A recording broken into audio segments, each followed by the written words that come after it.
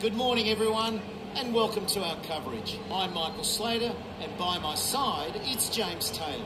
Morning slats. On paper, this could be over really quickly, but cricket is never that predictable. Absolutely fantastic conditions. You couldn't ask for better. Hard to say which is the best option here. My gut instinct would be to bat first. Australia have to be the favourites here. It should still be a good match. To open the attack. There's been a big build up to this match. I'm ready. Let's hope the batsmen are.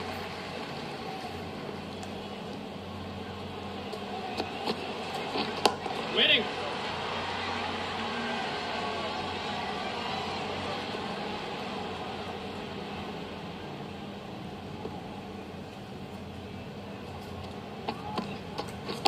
Gotcha! Yep.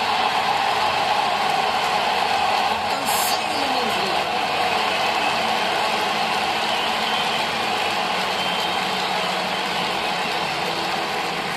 Oh, it needs to try something a little bit different here. The last one clearly not working.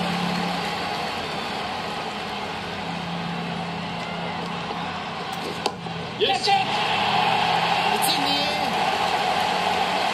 Wow, what a shot, what a follow-up! The bowler won't want too many more to go like that last one.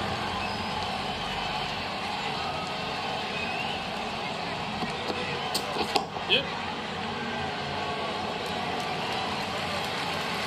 That's run away to the back. Can't be giving away too many runs.